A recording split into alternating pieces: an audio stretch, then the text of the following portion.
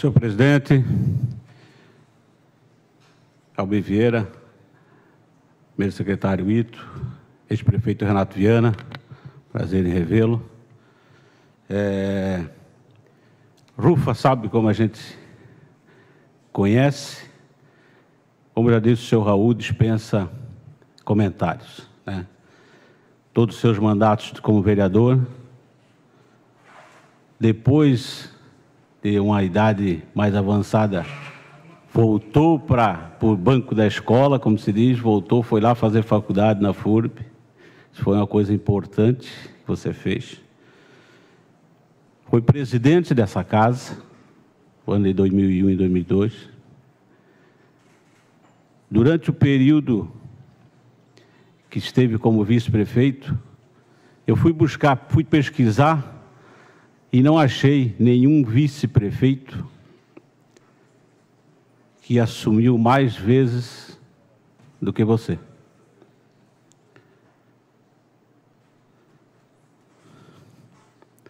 Foram dez vezes.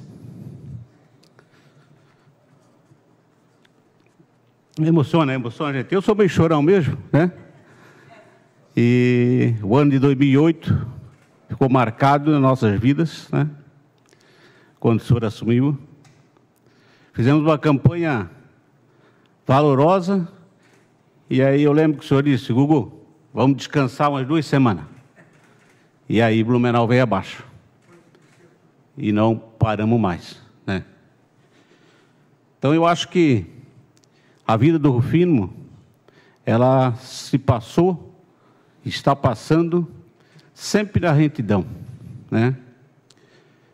Tem o Clube de Castilho Velha Central, hoje não, talvez não vai mais tanto, mas era a sua segunda casa. Carregava bola e jogo de camisa no alambreta para poder fazer o futebol amador, como nós, o Ito também é do futebol amador, a gente fez muito isso. E o, o nosso Liberdade, outro dia se encontramos todo mundo lá no Castilho, com os saudosos ex-jogadores do Liberdade, foi um encontro fantástico. Né? Então, eu acho que essa homenagem de cidadão blumenauense, como antes o presidente já falou, é, é a maior honraria que a Câmara pode conceder para um cidadão. Eu gostaria de chamar a TVL para que passe um, um vídeo de um grande amigo seu, que ele quis não mandar. O prefeito viu, João Paulo Kleinbing, tentou, ele está na COP28 em Dubai, ele tentou gravar alguma coisa lá para mandar para o senhor, não deu. Lá o regimento da, das internet lá é muito complicado, lá é muito é, rígido a coisa. E ele tentou, ele mandou um abraço para o senhor. Ele não conseguiu gravar o que ele queria, mas ele ainda vai fazer essa gravação e disse vai mandar para o senhor guardar para toda a vida. Mas eu gostaria que a TVL passasse o vídeo de um grande amigo seu aí.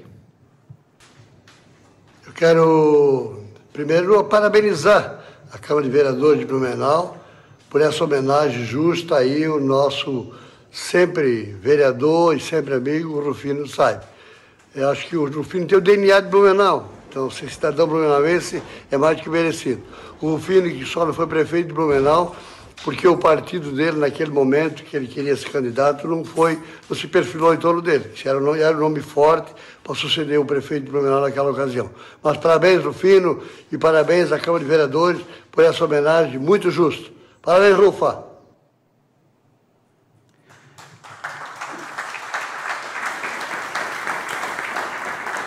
Depois desse depoimento, eu acho que, Rufa, depois controla o teu coração aí, porque tu é chorão que nem eu também, para depois fazer o seu discurso valoroso. Obrigado.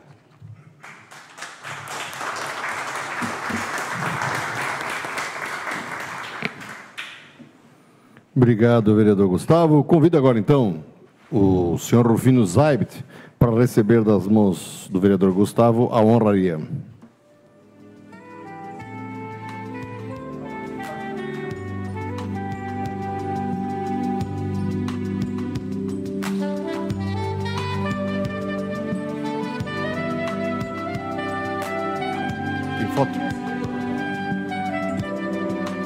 Familiares que quiserem tirar uma foto aqui também, participar do registro, os familiares podem vir aqui.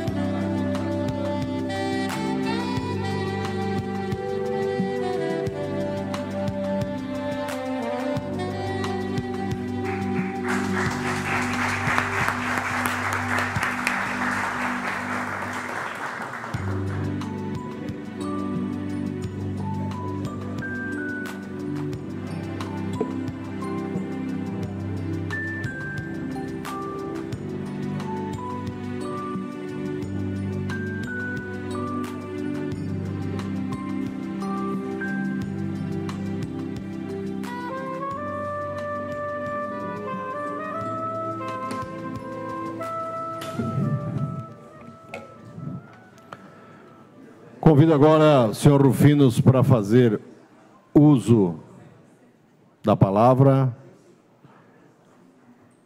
pelo tempo de cinco minutos.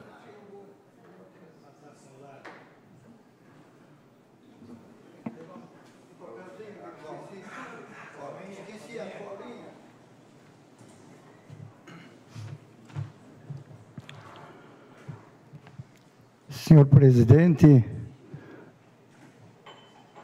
vereador Almir Vieira, meu grande amigo, não é diferente o, o Ito, vereador Ito, vereador Gugu, doutor Renato, que me levou à, à vida pública, né, com, com, muitas, com muitos e muitos trabalhos que a gente fez. Eu só queria lembrar uma delas, que quando buscamos o dinheiro para asfaltar José Reuter, fomos até o governador do estado, na época que era o. Eu agora não, não lembro, era o seu. Paulo Afonso, desculpe, Paulo Afonso. E em cima destas, dessa ideia e tantas outras, que eu fiz os meus quatro mandatos, eu fiz a minha família crescer muitas vezes fora, fora de casa. O pai está aqui, a minha filha, a meu genro, minha esposa estão aqui, o Rolfo. Enfim, nós estamos, nós, é, naquela época, a gente conseguiu, porque a gente era novo ainda, e hoje até daria para gente, a gente pensar em mais uma vez é, fazer esses gritos de guerra que a gente tem e tem feito e tem é, trabalhado pelo, pelo município afora. Mas cumprimentando Dona Darcy, minha esposa, a minha filha Carla Kelly e também meu genro, Dr. Hans, que está, estão prestigiando, e o presidente do partido, aqui o Daniel, é, Tibiriçá, que está representado aqui pelo amigo Joel, e assim, a, a, nossa banda, né, amigo Pirulito, me permita chamar assim, ah, está aqui também o, o, o marido da, da Kelly, né, meu, meu genro, o Ednei, que também está nesse momento aqui. Quero cumprimentar o meu amigo Raul Cardoso, que das suas palavras, fez com que a gente se preparasse para quando viesse o Gugu, a gente não chorasse. Mas aí o Gugu me trouxe, me trouxe o seu Lombardi, essa criatura incrível que tem me dado muita força também nas nossas, nas nossas caminhadas, onde a gente conseguiu, é, talvez, se eu tivesse ouvido ele, talvez seria diferente hoje. Mas nem sempre a gente acerta o passo. Dona Mariazinha, também minha, minha saudação à senhora, porque a senhora é a Mariazinha juíza. Né? Então a gente consegue, conseguiu de quantas em, em quantas situações dessa na minha caminhada pública, na época de quando quando eu assumia a Câmara a Câmara de Vereadores e depois é, a presidência da Câmara. E sobretudo dez vezes vereador, eh, dez vezes prefeito em exercício, eu diria, gente,